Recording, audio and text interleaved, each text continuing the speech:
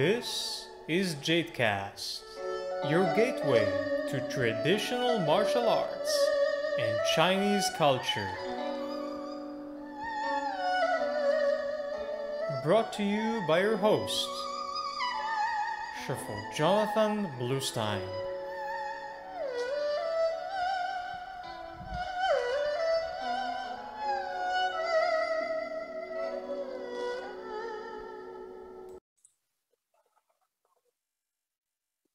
Thank you for being with us today. My name is Jonathan Bluestein.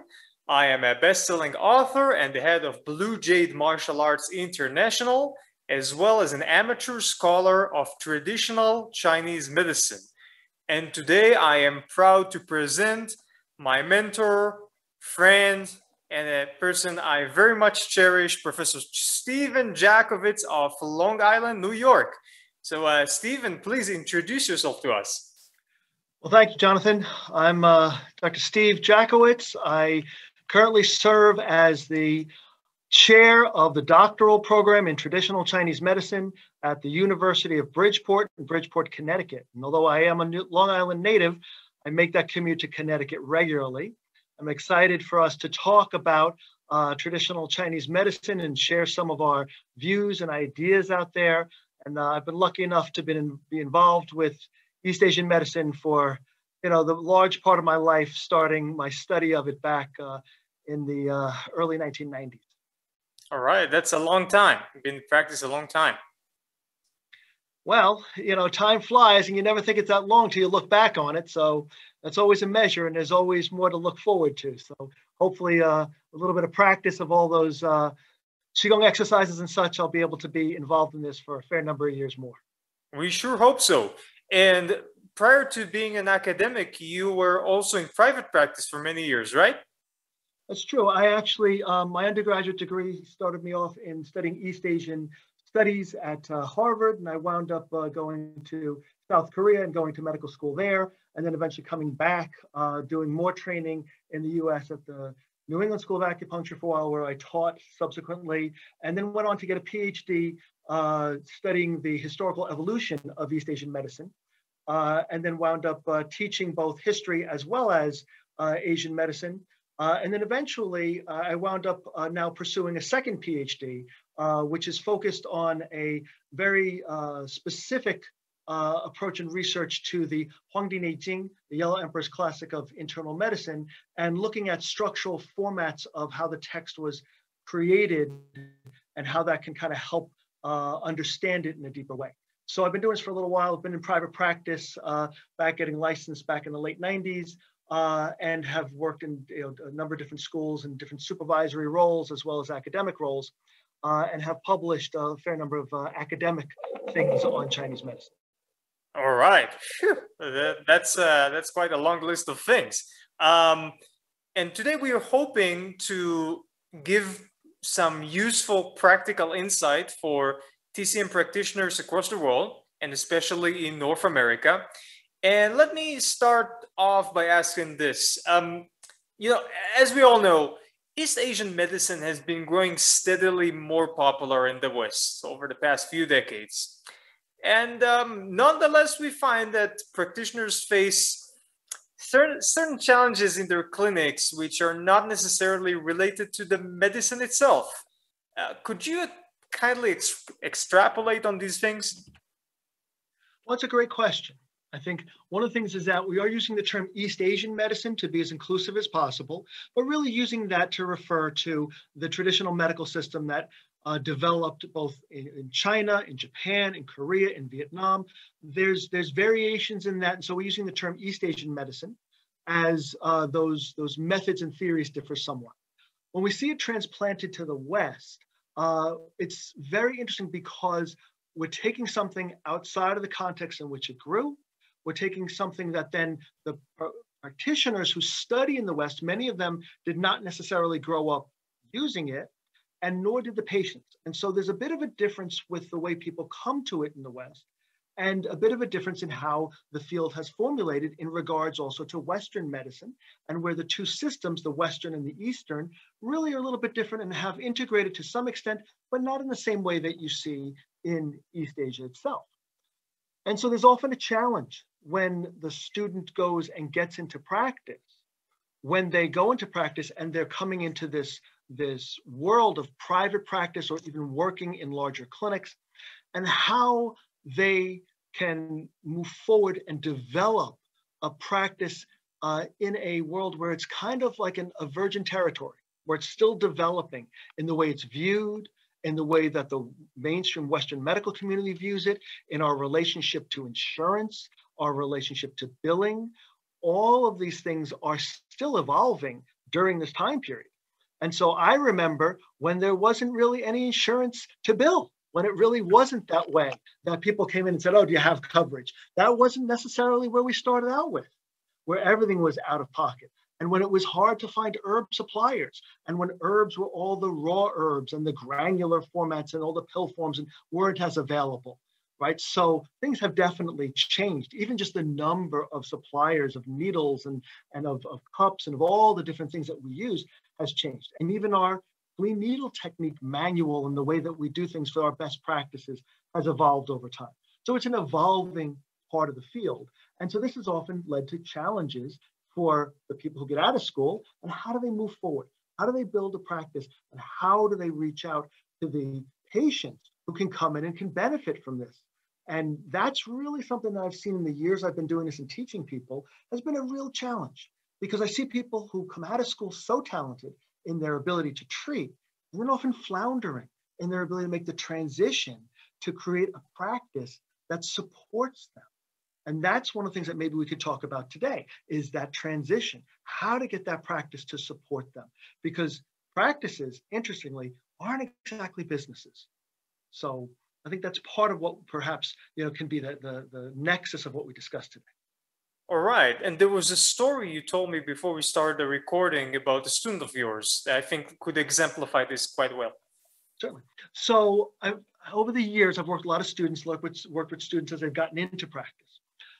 So one of the things that one of the students had had uh, contacted me this number of years ago and had gotten out of school and was in, was going through what we call boom bust. Boom, all of a sudden people come in and it seems like it's busy and it's a groundswell and it's going, going, going. And then bust, the numbers fall off. And all of a sudden it seems like everybody deserted the practice. And, and, and he was really confused. And he's like, I don't get it. I'm, I'm, I'm working as hard as I can. I'm trying to keep their, their interest at heart what's going wrong? So we talked about this, we looked at it. And one of the big things is that the question of not treatment, the question of treatment plan, question of how do you string together the treatments into a larger plan? How do you communicate that plan to the people? How do you get them to understand that this works over time? So, with the student in question, we had to look at and say, well, what were you doing? How are you talking to them on their intakes? How are you talking to them on the day, first day they come in? How are you explaining to them that this is progress over time? And progress over time requires you to keep going. Are you making the analogy to them that this is like, like going to the gym where exercise pays off over time? That this is like physical therapy that pays off over time? And are you setting benchmarks when you're going to reevaluate. So for the student in question who was doing a lot of musculoskeletal work, right, to say with the people, all right, we've got to quantify some of the measures, measure what's going on, give a number, use a goniometer, which measures the angle of a joint, say what range of motion do you have? How much can we see that change? Measuring that over time, but also sticking to a plan, saying, all right, we're going to work 10 times, then reevaluate and do a little reevaluation and in the reevaluation, letting the patient review with you the things that they came in with, saying, wait a minute, your range of motion was here. Your, your number of hours you slept were like this. You rated your sleep quality this way, right? Showing them all the things that have changed so that the patient can realize the change, incremental. The patient can agree to say, wait a minute, this did work. These 10 sessions taught me or brought me somewhere. And therefore, they can choose to come and say, oh, wait a minute, I want to do 10 more. I want to work on that mm. plan again because it's incremental change. And that really changed my students, you know, his practice because it was saying, okay, you need to not only on the first day discuss this plan, schedule the plan, put the person on the schedule 10 weeks, same time if they can, but 10 weeks out, if it's a 10 week plan. right? Schedule them and schedule the reevaluation. Actually reevaluate on the day of reevaluation. Actually keep them so you know where they're going. Just like I had said to him, if you're driving from New York to Cincinnati, there's checkpoints on the road to make sure you're going the right way, that you know where you're going and you're not making a wrong turn. Because if you make a wrong turn, you wind up somewhere else. And that's the same thing that you have in treatment, working in that sequential format. And that's one of the things that oftentimes the, we kind of fall a little short on in the West.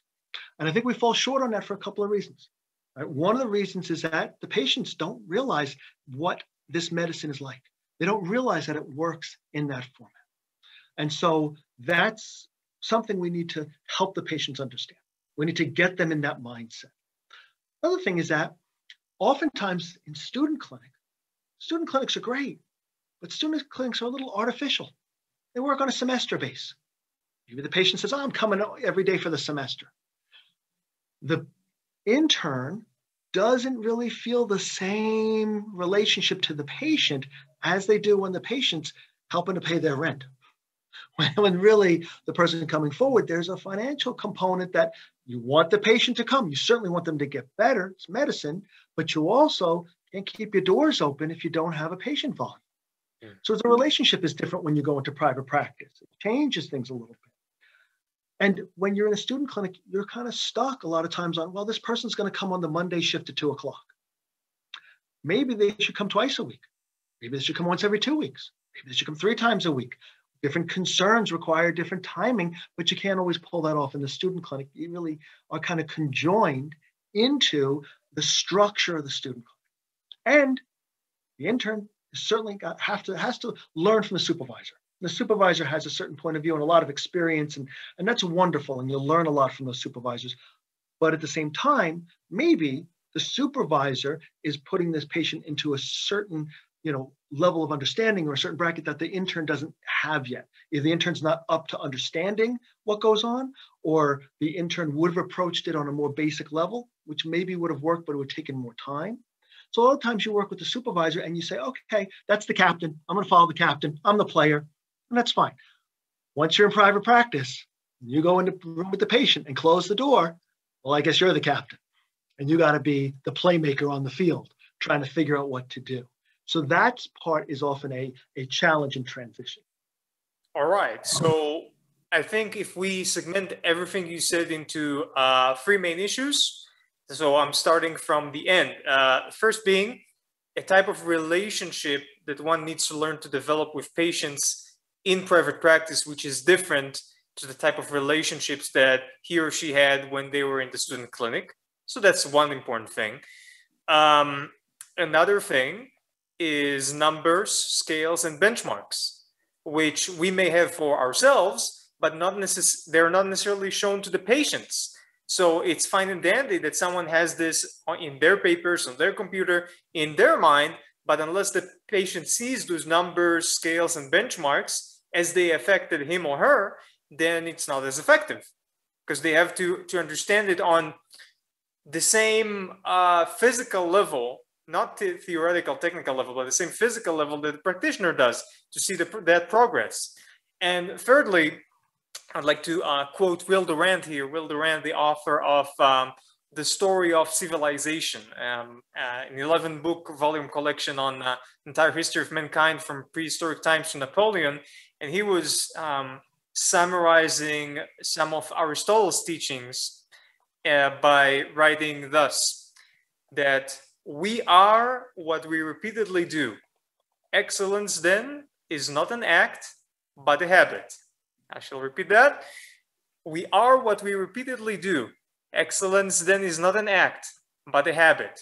And I think this relates to the first thing you were saying that the patients come in and they believe that the uh, medical procedure with accordance to TCM principles is going to be something akin to a surgery. You come in once or twice, you get something moved or removed somehow, and then it gets fixed. It's like fixing a car. Uh, but rather, we are what we repeatedly do. Excellence is not an act, but a habit, it has to be continuous. And this sort of mindset has to be ingrained into the patient, right?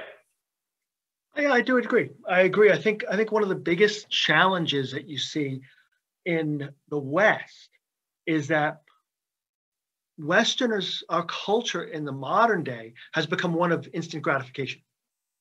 And so we really are focused on have it now, buy now, pay later. That's a real common rubric that goes on in society.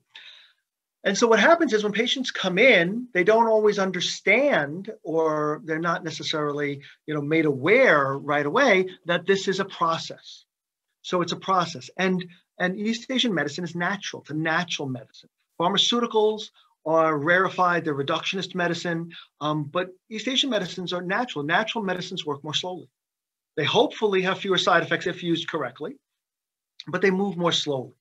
And so you need change over time. And the person has to understand that, that it's an incremental change. And the patient has a hard time, many of them, certainly not all of them, but many of them have a hard time recognizing incremental change. Even if we use number scales, if we use number scales such as, oh, my pain's nine out of 10, my pain's eight out of 10. Well, if it goes from eight or nine out of 10 to five or six out of 10, that's a lot better. But that's sometimes hard because it didn't just stop. Hmm. And the movement coming down, which may take weeks, is challenging many times for the Western patient, as opposed to an opioid. You take an opioid and the pain's gone. It comes back when you stop it, but it's gone. So that's a big challenge to say, wait a minute, you've got to you've got to get them to understand how incremental change occurs. So that's one big thing right there. I'd also say that it's based on the principles that the practitioners utilize and are clear because if we want to go back to the Huangdi Neijing, right, the section 54, chapter 54, which is the, the exposition on needles, it says clearly in there, your success or failure, the difficulty comes through your principles. It's right there in that chapter, saying if your principles are strong and you're you understand it clearly, that's how you define that. So the practitioner and patient need to be very clear on that. Sun Simiao in the Qianjin Yao Fang, the collection of a thousand with a thousand gold pieces. It's 625. So the first step in treatment is control of the patient's mind, meaning meeting their expectations, making them understand, making them understand how that this is a process. And traditionally, we say for every year you've had the problem, it's a month of treatment. So five-year problem is five months to see it get to a level where it can hold steady in the remediation. That type of communication is so necessary to take the patient and understand that, especially the Western patient who did not grow up with this, who did not have this going on all the time. So that's really an important part of building a practice and building things so that you can maintain that and have the practice be the platform for good work. Because as we said before, practices aren't exactly businesses. They're a little different. So this is seriously fascinating stuff. Uh, let me ask you, in your opinion and experience, how can a former student and current practitioner bridge the gap between the formal schooling and the requirements of private practice? According to the examples you just gave now, perhaps uh, some of that bridging the gap could be found in the classics, actually? Well, that's a challenging question because the thing is, the classics is a very amorphous term right? We're talking about East Asian medicine. We're talking about a medical system that spans thousands of years. We're talking about books, many, many, many, many books, and less than 5% of all the classical literature that exists has been translated from classical Chinese to modern Chinese. And of that has been translated to modern Chinese, and an even smaller percentage has been translated into Western languages. The majority of things that exist have not been translated. So there's no way anyone can be familiar with all of the classical literature. It's just impossible. Also, what we really need to work with many times is standardized modern approaches. That's why the, the foundation of modern TCM, starting in 1953 with the actions of the Communist Party to standardize it and professionalize it, has really brought a high standard what's done. And the standardized textbooks and the standardized materia medicas, the standardized approaches are really helpful, especially because they are integrated in some, some sense with Western medical ideas. Western medical categorizations are addressed in that format. And so certain things like, like high blood pressure, high blood pressure was not addressed historically, classically. It's a, a modern understanding with the ability to measure high blood pressure. There are patterns historically that existed that we've been able to summate and say, oh, those were, were blood pressure unchecked, right? But but even like that or hepatitis, hepatitis, viral hepatitis was not understood because they didn't weren't able to check for the virus. but rather, right, they, we've been able to understand certain patterns that showed up separately that were caused by viral hepatitis. So the modern standardization has really allowed us to, to operate in a modern clinical setting. And that's really where people need to start. That's really a good place to start before one makes a, a foray into the classical world.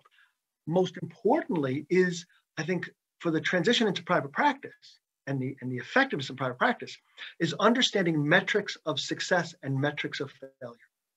That when you go in with the first day with the patient, you have to be able to predict what will be a sign that I'm going in the right direction? What would be a sign I'm going in the wrong direction? And you can have a, lot, a large range of how you do that. You can follow something like the Kazato method of the Japanese, which focuses very much on pulse and say, oh, certain positive pulse changes could mean I'm going in the right direction. How do I chart those and go forward, right? Or you could, you know, work with certain constitutional ideas like you see in the Korean medicine, where you're like, okay, this constitution has this tendency. How do I predict the tendency of whether it's healing or whether it's degrading? If you look at the modern TCM ideas where we use a lot of numerical quantified measures, where you might use a goniometer to range check the range of motion, where you might use pain scales, where you might use standardized standardized uh, approaches to to create a quantified metric and say this is the metric of me moving forward, this is the metric of me moving backward and then be, be able to pilot that forward. And as you mentioned earlier, Jonathan, communication with the patient, where you might have that in your notes, but the patient doesn't understand this is where we're going. And this is why I need you, patient Mr. Johnson. This is why I need you to do these exercises. This is why I need you to do this and change your diet this way, or to take these herbs on this schedule. I always tell the students, I go, herbs are the greatest medicine that don't work when you don't take them. And if you don't swallow them, you don't follow the, the plan, they don't work, right? And so that's the thing. You need to acculturate the patient, give them this cultural foundation of understanding a natural medical system, because our Western world is very divorced from nature. And how do we use natural abilities? I mean, we can tout the abilities of the body to heal itself, Sure, but at the same time, your body can't heal itself unless you're engaged in it because you are the emperor or empress of your body. So say the classic, right? So you have the control to close the borders, right? And not take in the medicine that can help you or open the borders and engage with the doctor in the world. So hmm. it's part of that planning that really helps make the person survive in practice. And that's why you need to help the patient understand. We can call it control the patient, and maybe people go, oh, control, they don't like that word. All right. Well, the Chinese word zhi for control or govern or treat, all that, if you look at the character itself, it has the water radical, it has the dam radical, and the mouth radical. And it is the word to govern like govern a country, or it means dam the water to feed the people. And so that is the word used to treat someone, which is to control the waterways or the fluids in their body and nourish them. And therefore, control is not a bad thing. But if you don't control the patient enough to understand how to move forward, then they are always caught in their pathology. And as one of my teachers said to me, he said, he said, if you could cure cancer and you don't tell anybody and you don't guide them to the 10, 15, 20, 30, 40 treatments that they need, then you're going to hell. He said the clearest way to hell is having the ability to help them and not setting up the platform to do it. And that's why I said before, practices aren't businesses because a business is just based on money. But a practice is a platform, a platform for the good work that you're going to do. You got to pay the rent, you got to pay the electricity, you got to buy the supplies, you got to get the cleaning supplies and do all the good things that you do. But you have to understand that the practice is supported by those financial dynamics, not driven by them. And that's very important. And if the plan is there, the person will come in, they'll get success. The practitioner will be able to have the finances come in to support it. They'll be able to have enough finances to support them. So when the hard luck case comes in, they can give the person a discount where they can help the person out who can't afford it. That can't happen if you're starving. So that's why it's important to get those things going and help the patients understand and be acculturated to that model so they know what to expect and know how it works, and then they can get the most out of it. All right. So you said something very interesting that I would like to ask you about uh, about the practice not being a business. But first of all, before we get to that, I would like to quote the famous uh, Chinese medicine sage Tony Robbins. well, not really, but he's a controversial figure. But he's uh, you could definitely not say that he's not a smart guy. He is, and um, like him or not, sometimes he has sagely advice. And one of the important things that I learned from this man was that he said, when you would like to motivate people to do something, goals are good, but they are not superior. Because if you set goals for yourself, or people set goals for themselves, or you help them set goals, that's little increments that they could follow. But what really defines what a person is going to do in the long term is how they view themselves, their self image. So if a person decides, just for instance, that they're going to be sick forever, and they have this image in their minds, it doesn't matter how many goals you set for them. So in discussing this very important topic of how to control the patient, it's one thing to tell them take your meds on time, but there are underlying currents of how they view themselves and their condition and whether they can even get out of their condition because maybe they've been told by 20 practitioners prior or maybe they've even just been told by someone in kindergarten then they'll always have this they'll always be that type of person. And that's their self-image and that self-image casts a very big shadow over everything the practitioner does so if you could just before we get to uh, how come the, the practice is not exactly a business. Prior to that, could you talk a little bit about controlling the patient in the sense of helping them change their self-image? I think that's a, that's a great question. It's a great observation. Like this is really interesting, right? Because in Chinese, there's multiple terms, especially in classical Chinese. And classical Chinese is what the classics are written in. And the classics are very, you know, they, they capture the imagination of the Western student classical Chinese is a dead language. It's a language like Latin. Right? Latin is the, is the ancient form of Italian. And a modern Italian speaker doesn't intrinsically speak Latin. They might have a leg up on learning it, but it's a little different. Classical Chinese is different than modern Chinese.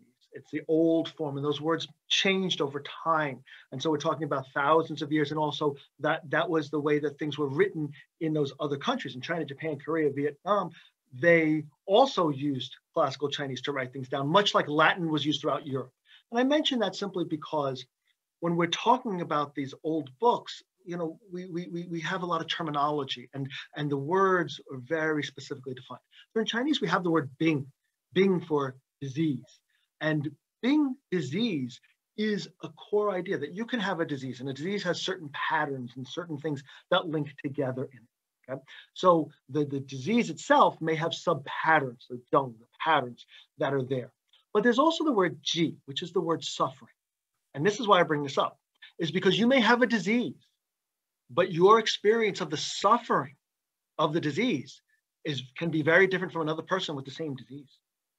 So two people who both have what we call Bi syndrome, which is most times a type of arthritis, right? They have arthritic degradations, they may have the same range of motion, they may have the same presentation of this, but their suffering may be very different.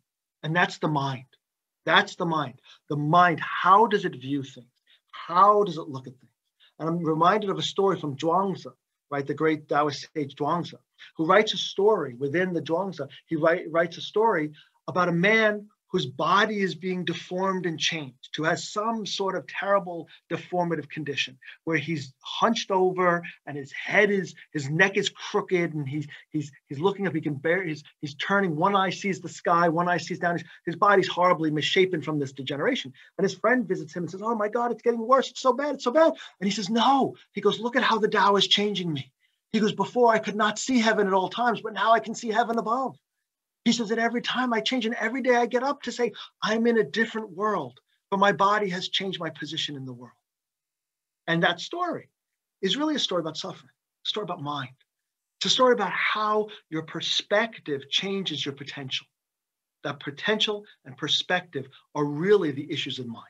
So, as you said, if you are convinced that you're sick forever, if you're convinced that you're not able to heal to the way, the way you want to, then that's true.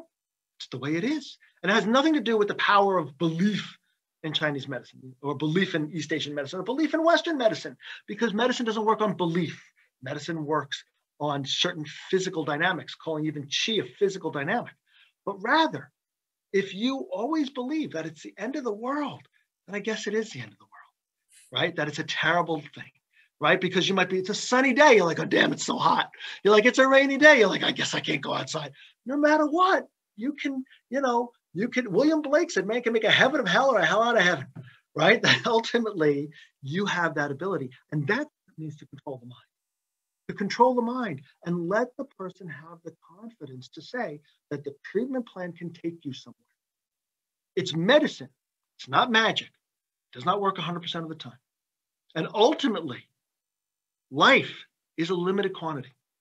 No one gets out of life alive. So ultimately, it comes to an end. And the doctor bears witness to that. And the doctor sees that. And the question is the patient who comes in, how can they change to be in a different state? How can you have a transformation on their zhuang tai, the structure of their qi, and thereby change that so that their jing, their essential core of being a human, can move through the qi, the metabolism of being alive, to elevate to shen, the spirit of being aware and conscious. That's the medicine. That's the san bao. That's the three.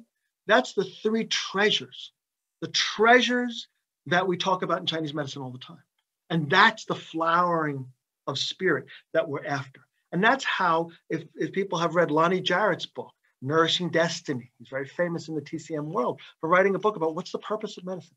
But the purpose of, of medicine is the nourishing of who you could be.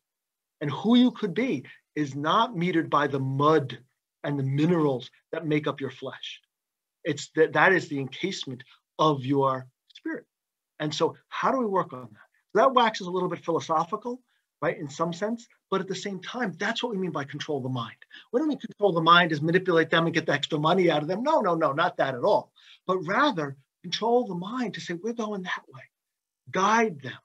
The very character Dao that everyone's so fascinated with, the, the Tao.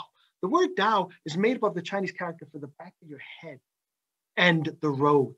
And the Tao is the guy, the Taoist, the Tao is the symbol of the person going down the road that you get to follow. And then he'll take you somewhere.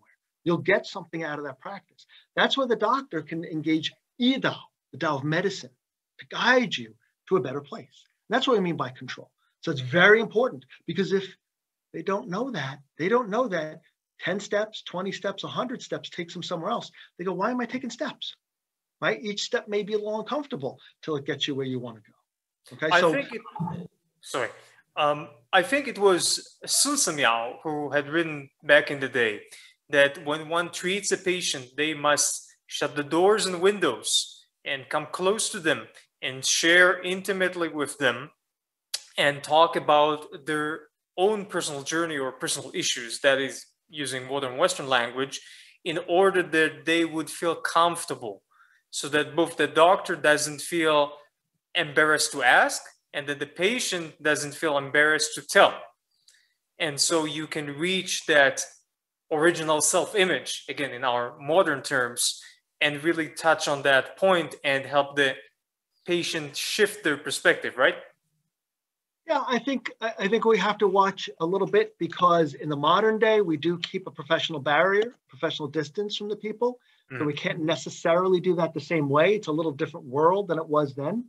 You know, we operate a little differently as opposed to being a village doctor. I'm not really the village doctor, right? So, but but yes, the question of how do you gain their confidence? How do you be someone who's not putting on uh, just a social face? How do you imbue into them your earnestness and the you know the the, the true sense that you're in the trenches going to fight for them that you're going to help them move forward. I think that's really what that drives at.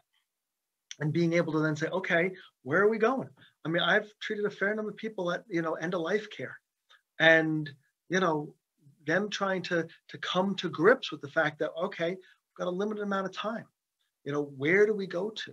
How do we make the most of it? So that when the story ends and the house lights you know come up and you've got to exit the stage how do you say yeah i didn't have unfinished business that the story came to, to where it was because that's the ultimate kind of that's the ultimate thing the doctor bears witness to the doctor has to bear witness to life to illness and to death right those are the same things that ultimately age right illness and death is what drove Shakyamuni to go seek enlightenment and become the Buddha. right? That's what the doctor sees play out on her or his treatment table all the time. You know, and so how do we work with that? Right. And now we have to be technical. We're technicians, we're doctors. We measure weight of different herbal ingredients. We retain needles for certain periods of time. We do certain number of stimulations to them. We work a muscle, like sometimes we work on a range of motion. We are technicians. We work very technically. We need to have technical measures of understanding so we can see if we're working correctly. At the same time, we need to safeguard compassion and safeguard the qualitative aspect of humanity while we do this.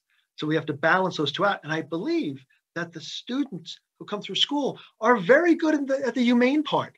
They're very good at the part where they're so kind in their hearts that they can't sleep at night worried about their patient. But sometimes they have a hard time on the quantitative measure because you asked before about why I said a practice is not a business. Because hmm. a business only works or only aims to make a level of profit. That's not a bad thing. But if you go to the camera shop and you buy cameras, the more cameras they sell, the happier they are. So they sold a lot of cameras, hopefully good cameras, but they sold cameras and they sold them. And every camera, if they sell 100 cameras or 1,000 cameras, hopefully, as long as they're made well, takes pictures just as, as well as the other camera. That's not true for, for a doctor. That's not true in your practice.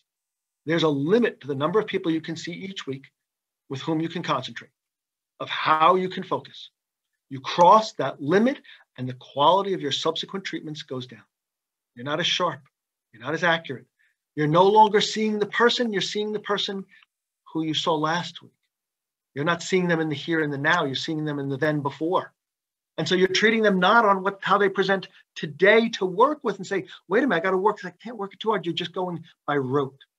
And so now you lose the ability to be engaged with them and you lose the chi.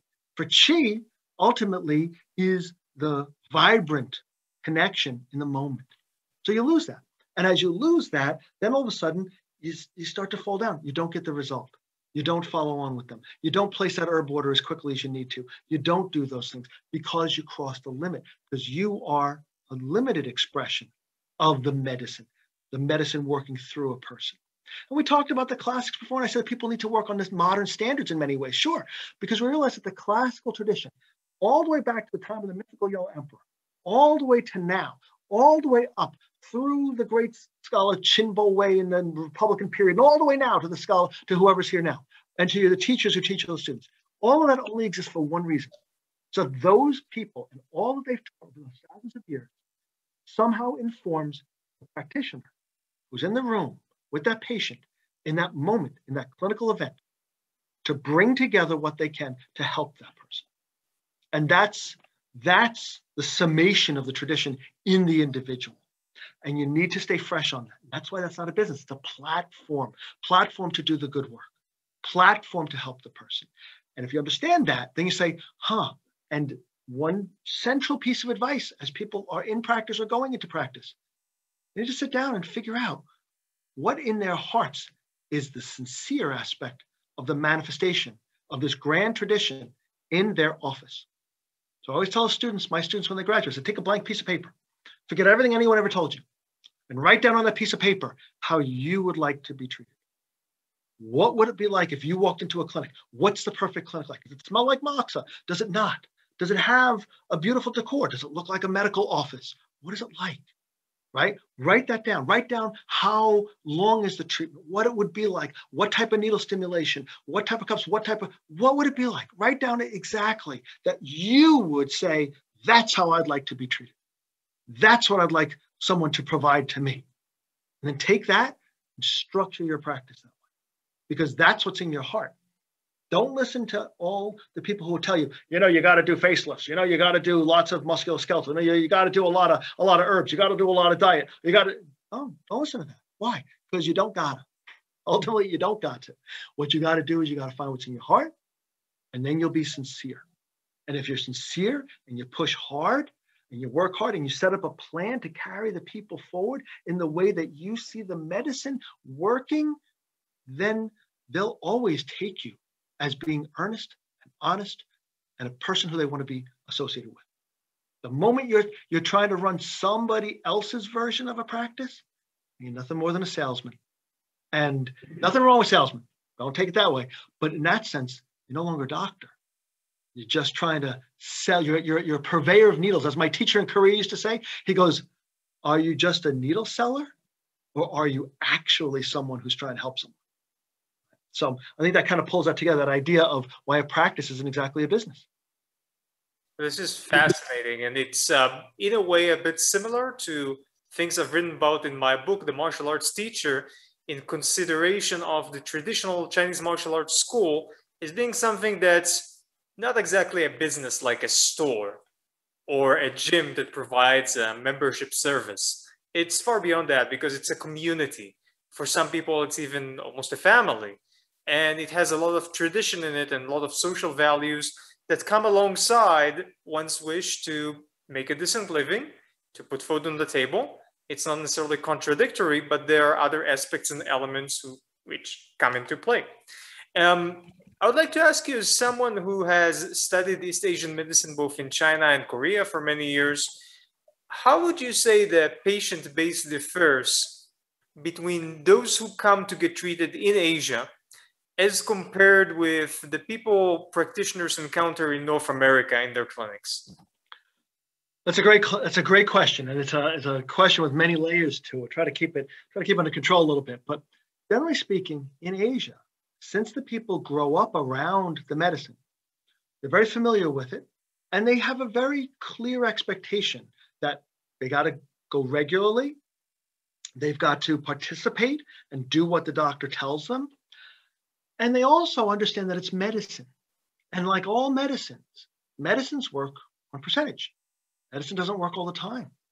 Medicine ideally works as well as it can, but if if if you went to the Western medical doctor and he gave you a pill and that pill didn't work, you wouldn't discount all of Western medicine as being nothing but claptrap. You'd be like, "Well, that one didn't work. Doc, I'm back. I need another pill." You'd be back to him. Well, that's what the Asian patients are like. They're like, you know, I don't know that that that technique you did on my shoulder didn't help too much. Let's do a different one. Okay? Yeah, there's something that we see quite a bit with uh, traditional Chinese medicine and East Asian medicine, generally speaking. And it's quite unfortunate that someone would come to get treated for the first time. They come to one or two, maybe three treatments. It's not as successful as they had hoped, or perhaps they were unlucky and they encountered a charlatan, which can also happen.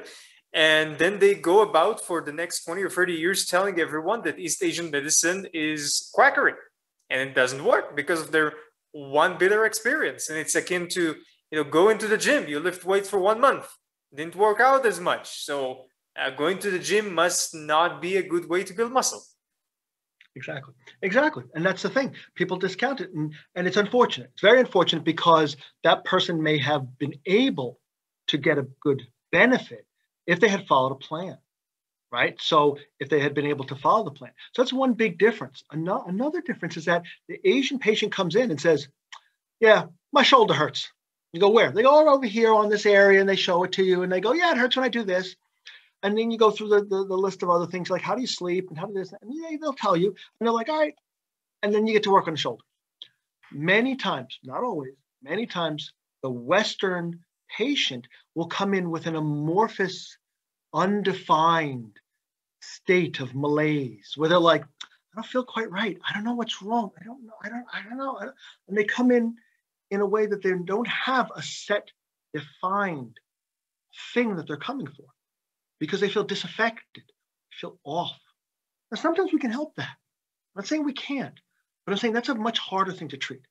So if you're treating something that is more of a mood disorder, even a low grade disaffection, where the person is saying, you know, I don't feel right. Well, in Western medicine, they're like, oh, they scratch their heads also, send them to psychotherapy, maybe give them some chemicals, but they're like, oh, there's going to be a hard one. Here we go. The generally speaking, the patients in Asia who come in are very expectant that acupuncture could help in the musculoskeletal realm that the, uh, that the herbs and the acupuncture together could help with their fundamental metabolic processes, can help with diabetes, can help with can help with uh, you know, um, um, allergies, with asthma, with with different types of digestive disorders and such like that. And they also they're they're kind of expecting to say, yeah, mental illness may be hard to treat. and and even just mood disorder, which is not necessarily so clearly a heavy mental illness, but they're like, ah, that's a little hard to treat. And they kind of come with that expectation. So I think that what happens is in the West is we're faced with patients who don't know where to go. And they come to us last. So they come to us with what we call tertiary care. Primary care, was first doctor, secondary care was a specialist, and then tertiary care, they roll in and they go, like, I'm gonna try something different. Now, you got to realize East Asian medicine, traditional Chinese medicine, is the oldest continuously practiced form of primary care medicine in the world. It's primary care traditionally, right? It's it's based on the guy fell out of the tree and got hurt, right? Because he was trying to climb up and you know, you know, get something, whatnot, or he's in the field and he got hurt and and we could fix it right away. Or the person, you know, had some really bad diarrhea, really bad digestive things, and they came to the doctor right away. We are traditionally primary care. So you're taking a primary care system and employing it as tertiary care for very complex things and maybe things that are too far for what we can do. I've had patients, unfortunately, people contact me, they have four stage terminal cancer. What can we do? And we'll try. But really, at that stage, oftentimes we're palliating so they don't feel as bad while they pass, right? First stage, maybe something else can be done, right? So the thing is, it's also that understanding of when to go. I had people come in, they go, I've had back pain for 18 years and three surgeries. And they go, what, what, what can you do with me? I go, I could have done a lot more 17, 17 and a half years ago when you first hurt your back. So what I kind of I'm driving at in that is to say the Asian patient understands when to come, that maybe this is a mm-hmm. earlier intervention. The, the only other thing with, with this is that the Western patient, not all, but the Western patient often is looking for some solace. They're looking to be heard. And this is a critique that many people have of Western medicine, where the Western medical doctor, due to financial demands and due to demands of how practice is structured and such, doesn't have much time to talk to you. The Western medical doctor comes in, quickly checks things, and has to go out, and he has to see six, sometimes 10 people per hour. And people come in and they're looking for someone to help them unravel the story of what went on and how did they get there and they come in and that's often a challenge to the people doing East Asian medicine in that the patient starts to control the clinical encounter and tells the story or says, I looked this up and I want cupping when maybe that's not indicated. Or I want gua sha, maybe it's not indicated. I want you to do bloodletting, maybe it's not indicated. The patient comes in looking for some to tell a very extended story and be given some credence for it. And at the same time, sometimes wanting to direct what goes on. And that doesn't always get them the resolution they need. So it's often hard for us, East Asian medical practitioners, to navigate that and navigate how to get the person onto a plan that actually could help them. Often a challenge.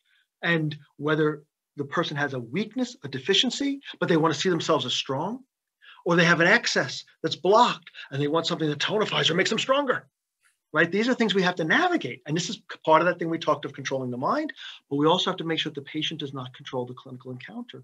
Otherwise, the, the person's pathology sometimes runs the show. And then how can they get better when the pathologized body is trying to elect what it feels it needs as opposed to what the practitioner can understand that's one of the challenges of being in practice and developing that skill and developing that ability to set the plan and stay on the plan. Because as you know, Jonathan, sometimes practitioners will jump from their diagnosis week to week, treatment to treatment, and never make any headway. I can tell one small story relevant to this. I had a patient, right, a gentleman with who was um, paranoid schizophrenic. And so paranoid schizophrenia, he, he was typified as what we call Dien syndrome, Dienzhong, which has multiple formats, but but it's it always includes phlegm misting the mind as a pattern, okay, within that. And so he was very nice. He was taking some Western medicines, but he had problems. And he would present a little differently over the seasons we saw him, over the time we saw him and his pulse would vary. Sometimes it'd be more slippery, sometimes more soggy, sometimes more soft. So varying between all within the fluid imbalance spectrum, but more on the deficient side, more on the excess side, changing a little bit. And his symptoms would change a little bit. However, we always had to drain phlegm from the orifices of the mind. We always had to work that principle in his treatment because he was not ever going to get rid of that completely. He had been like that since he was a teenager, and the man was close to being in his 50s. He was very nice, he was very functional, but he always was going to have some level of pathology, and we could we could palliate it. So we had to keep that as part of a treatment plan always, though we had to attend to the variabilities that showed up as his metabolism would move back and forth, dependent on what he ate, depending on the seasons, depending on other things. So you always, that's that whole idea of treatment plan, keeping on the plan, keeping moving in the right direction, though making micro adjustments, just like when you drive, right? When you drive, you always stay on the road. Sometimes you got to make a little bit of a right and a left, but you can keep moving towards your goal. And you don't want to be in the center of the road, nor do you want to be hitting the curb. So you're always making adjustments, but you got to stay on the plan. And that's one of the things that you, I often see with students when they get out. That's one of the biggest challenges. Staying on the plan, moving forward, keeping the control of the treatment dynamic so that you can do your best work for the person. So essentially, put in other words, the practitioners, especially those who had just come out of, of the TCM college or university, have to pay attention to having this constant this constant parameter that goes along as, as several treatments in a row, maybe five, maybe 10 treatments, whether there are other variables or not, there needs to be that constant. Otherwise, in at least how Professor Jackowicz sees it, it's not a treatment plan. Exactly, exactly. And certainly somebody comes in with a small acute condition, well, that plan may be a, a one day treatment right? You you you come in with a, a, cold, you come in with a twisted ankle. I mean, then the plan is not extended. We're really talking about the chronic care that demands that long-term plan. All right. So uh, let me ask you, according to what you described earlier, the typical North American patient is a tad more challenging to handle for the TCM practitioner as compared with, say, the typical East Asian patient. So how would you say it may be possible to acculturate such patients uh, to our medicine? How can a practitioner make his or her patients more positively responsive and forthcoming towards treatments overall? That's a great question. That's a great question. And the thing is, acculturation, I think, is the best way to describe that because it means we have to give them the cultural basis to understand this.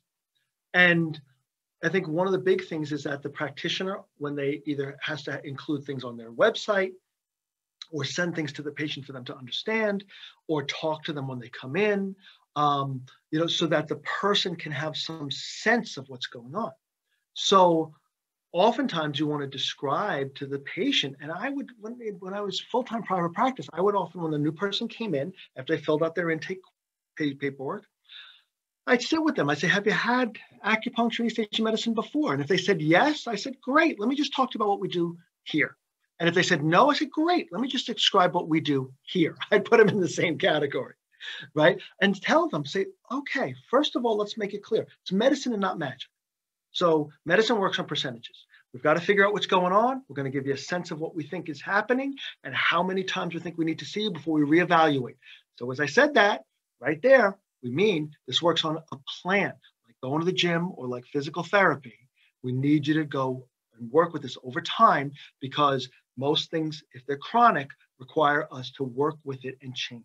So just be clear about that up front. And once we do the intake, we're going to confirm that you want to go on the plan.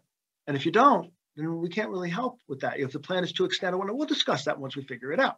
Then I would say to them, okay, once we figure, once we understand that, say, let's go through these things. Acupuncture, moxibustion, there's herbs, there's diet, there's physical manipulation, which is the massage or bone setting and such, and there's therapeutic breathing practices, Qigong, and explain that that's all part of a larger plan and all part of those things. And because this is so broad ranging, because we see the body as a whole, we got to ask you questions about your stools, about your sleep, about your diet, about everything about you, right? And we really want to relate that back to what's going on today that brought you to see us. But we need the context because you might have a bad shoulder, but your bad shoulder is attached to the rest of your body. And so if we explain it that way, then they're like, oh, now I get why they're going to ask these other questions. Now I get it's a plan. Now I got I get the idea there's multiple techniques. That's really important and having them understand that and understand that there's a broad range of things we can work with really helps them. And then sometimes they go out and they read, and sometimes they read things that are really helpful and supportive, and sometimes they don't.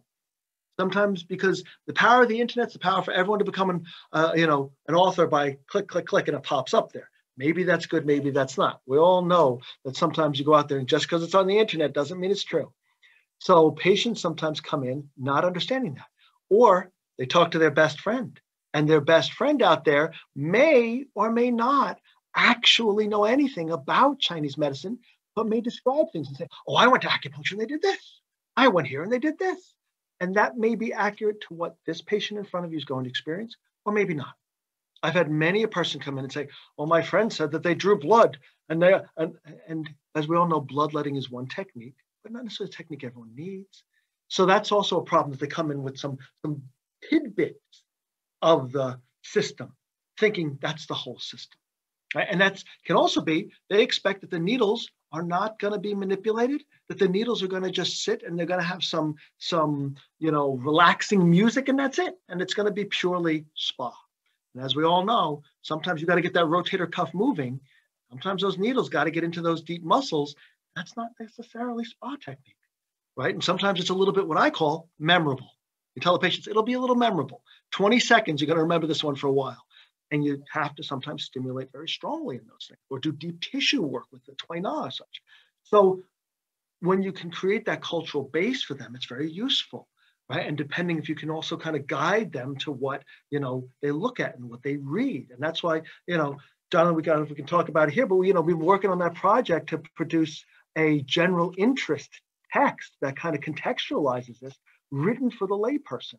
You know, the, the practitioners, it's it, you know what we're working on right now is is a little too general for them, but it's good for patients. It's good to like even for people come and sit in the waiting room to look at and get a sense of you know, what's the, the, the global view of East Asian medicine?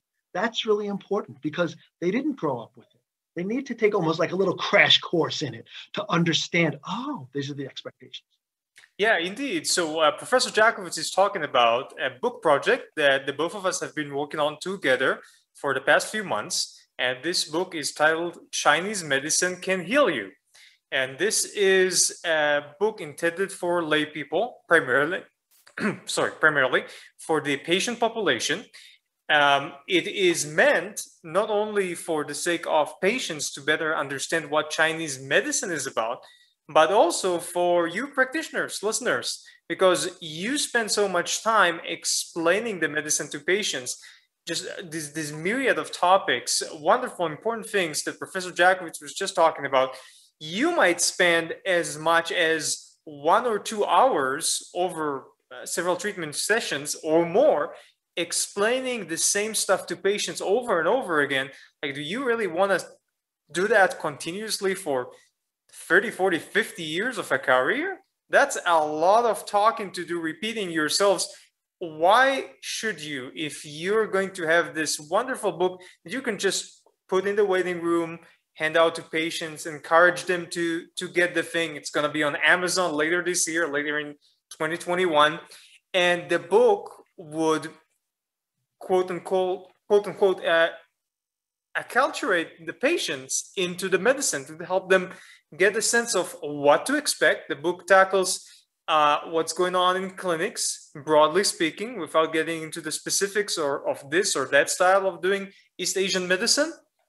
It discusses the differences between East Asian medicine broadly and modern Western medicine and specifically differences between Chinese medicine and Korean medicine, Chinese medicine, Japanese medicine, etc., etc. So it's actually intended and useful for all practitioners of East Asian medicine broadly, but also for all of their patients, and gives the patient a perspective over what are the principle uh, principles. Sorry, this these lovely medicine is based on, and what are its roots. The fact that, uh, like Professor Jackowicz said, uh, traditional Chinese medicine is the longest continuous tradition of primary care medicine in the world uh, that we could trace.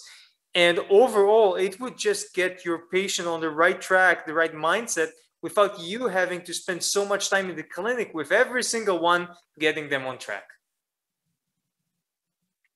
And the thing is, the, the goal of it is, of that writing project we've had, is to try to help the patients realize what can be treated. Because sometimes I've had patients who come in and they've got back pain, and then they didn't even realize that we could have some impact on the irritable bowel or something else. And they then they're like, oh, I didn't know that. And sometimes they, you know, will realize that and they're like, oh, my cousin, my friend, my wife, my whoever could come in.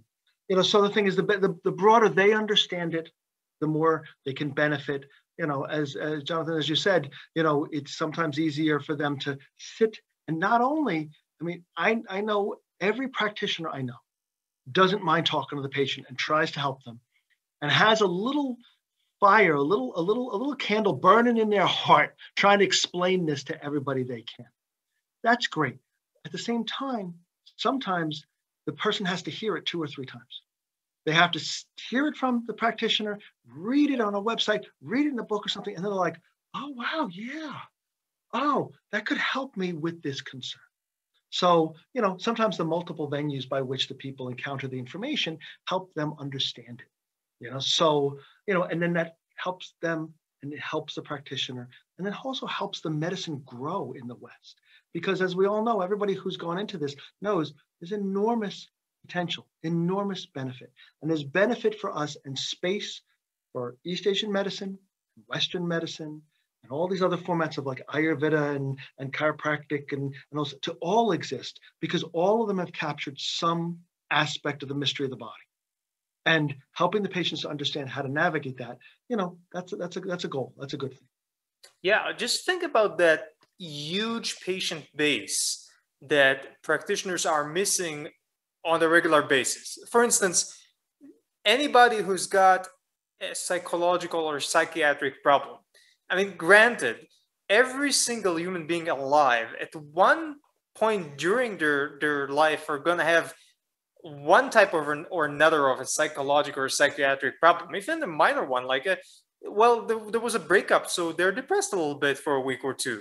Or they, they have stress. It's natural. Every human being experiences such things. The thing is that still in North America, at least, the majority of people are unaware that traditional East Asian medicine can treat such things. So you might have a patient that you've been seeing for 20 years for this or that chronic problem. And you may have been teaching her, maybe unbeknownst to her, uh, you've been helping her with her psychological issues as well. Now realize that she's got a family of, I don't know, 50 members, 100 members. And all of these people for their lives at one point or another are going to have one or another psychological or psychiatric problem.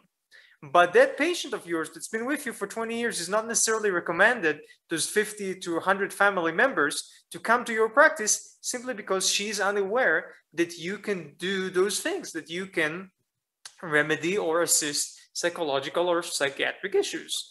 And you're you have just missed 50 or 100 patients that could have come by the personal recommendation of someone who's been with you a long time, could have brought them no problem. And that's partly why we have this book, Chinese Medicine Can Heal You, because any layperson who reads that book is going to realize that the scope of East Asian medicine is far broader than they initially thought. And then they would be far more inclined to get themselves treated or recommended to their friends, acquaintances, family members, colleagues at work, you name it.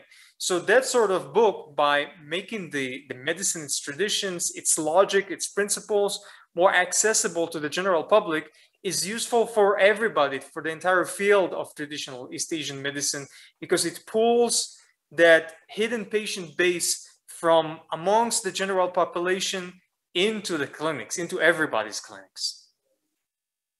I also think that our goal, part of our goal was to demystify Asian medicine. So the thing is, I think some people, you know, it's hard to say you know, how people think if they're not coming in for treatment, but oftentimes they're a little bit apprehensive and it seems kind of confusing. It's a mystery. So also laying out, oh, this is what the procedures are like. This is the way the thought process like. This is what there is to expect can help, you know, defray some of that concern. And then, oh, maybe I'll try it. You know, certainly, you know, that's that's the thing. Because even if one person, you know, goes in and gets treated and gets a benefit, you know, then then then then all of, all the development over the thousands of years is worth it, even if just one person gets a little better. So, you know, that's the thing with every practitioner. Every practitioner knows that every patient is the most precious one, right? Every single one, right? And that's why it hurts so bad when they don't follow the treatment plan. You're like, I'm trying here, you know. So you know, all of this to, to, to you know for practitioners to hopefully you know help their patients, help you know help it make sense, help sometimes. Also, some people are very very good technically, but not necessarily always so good at explaining things. So sometimes, you know, if it's written down, you know, then in, in, in a published format, then you know sometimes you point to the the, the person has all those questions say you could check this out a little bit. Well, we all know there's that one patient who likes to ask you questions and put you 20 minutes behind schedule right? Then you can say wait a minute here's a, here's a way to read up on that. So you know but hopefully we kind of put this together with the with the plan and the hope that it's going to bring some benefit to people out there. All right. Thank you so much professor Jackowicz and i very much appreciate you taking the time speaking with us all today and once more, the name of the book that we're working on that's going to be available later in 2021 is Chinese Medicine Can Heal You. Chinese Medicine Can Heal You, and it's going to be available on any Amazon website, be it Amazon.com, Amazon.de, Amazon.co UK, etc., etc. Once more, Professor Jackowicz, thank you for sharing with us. We'll definitely have you on and present you in additional interviews in the future. Uh, any last words or commentaries for practitioners? Well, Jonathan, thank you so much for the opportunity. It's great that we've been able to come on here and talk a bit. I think the biggest thing with practitioners, they all know every day is another day in the trenches, another day in the trenches. So, you know, out there doing the good work, you know, that's the that's really the hallmark of this tradition that goes back thousands of years. So my, you know, hope is as the pandemic starts to ease up and everybody's out there practicing, because there's going to be a lot of those long haul sequela symptoms to COVID that you're going to be able to work on, a lot of things that did not exist historically. And so we mentioned before about the classics. You, the modern practitioners, need to go and understand the principles so well because you will treat patients who have things that didn't exist historically. So my hope is that you all, you know, get out there, work hard, keep this medicine going, and you know, really venerate our tradition because of that. All right. So with all that having been said and considered, thank you all so much for listening, and we'll see you around next time.